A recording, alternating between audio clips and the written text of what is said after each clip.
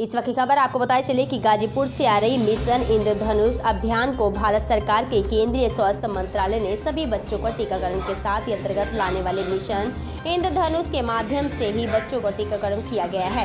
संगन mission के साथ ही आपको बता दें चले कि इंद्रधनुष चार चरणों में, तीन ब्लॉक में मोहम्मदाबाद सैदपुरा के साथ ही गोडवर संचालित किया गया है, जहाँ पर जो चारों तिथियों के साथ ही यहाँ पर आपको बताया चले, पहले चरण में 2 दिसंबर 2019 दूसरे चरण में 6 जनवरी 2020 के तीसरे चरण में फरवरी 2020 में चौथे चरण के 20 फरवरी 2020 में किया जाएगा। इसके उपरोक्त सभी चरण सात कार्य दिवस तक संचालित किया गया है, जिसमें आपको बताते चले कि आज सार्वजनिक अवकाश को छोड़ा गया है, जाना गया है कि संगठन मिशन के साथ ही दो वर्ष के बच्चों पे अर्जित किया जाएगा और जिसको कोई टीका ना लगा, या इन बच्चों के साथ जिनको कुछ टीके लगे हैं कुछ टीके छूट गए हैं माइक्रो प्लान तीनों ब्लॉकों के लिए तैयार किया गया है। प्राइम की न्यूज़ चैनल के लिए खास रिपोर्ट आप देख सकते हैं। गाजीपुर से देवब्रज की। है हुए बच्चे हैं।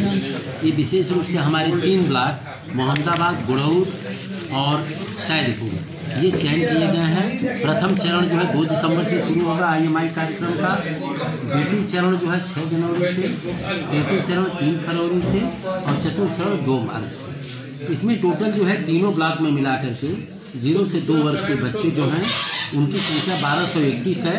उन बच्चों को टीकाकरण होना है और अस्सी गर्भवती महिलाओं का होना है। इसके लिए पूरा दो सौ तिरासी सत्र लगाए जाएँगे कि जिससे हंड्रेड परसेंट टीकाकरण का अचीवमेंट पूरा हो जाए। इसके साथ साथ जो नियमित टीकाकरण है, वो कार्यक्रम चलता रहेगा। इसके लिए हम लोग का पूरी तैयारी कर ली गई है और हम लोग सैदपुर में वीर अब्दुल हमीद नगर एक है, मोहल्ला। उसी में माननीय जनप्रतिनिधि के द्वारा इसका उद्घाटन करवाया। चैनल को सब्सक्राइब करना ना भूलें और साथ ही डेली अपडेट्स पाने के लिए